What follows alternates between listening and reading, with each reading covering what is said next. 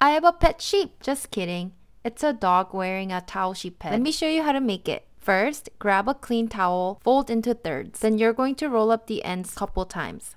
Make sure rolls are tight. And here's the final part. All you have to do is open the middle part and put it over your head. Ta-da! Now you're a sheep. Do it me if you try this. Follow for more.